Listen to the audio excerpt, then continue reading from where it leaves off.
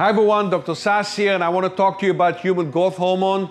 So, a lot of companies say that they have human growth hormone that's available as a supplement by mouth or something that can raise your own human growth hormone. Is it real?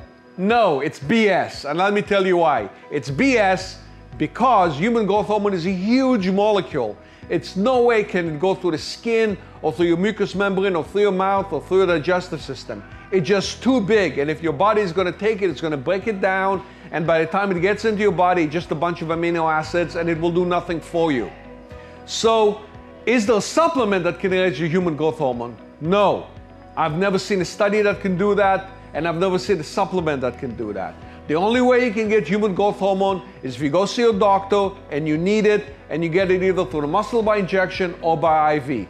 No other way, it's just BS. If you like my video, please subscribe. See you soon.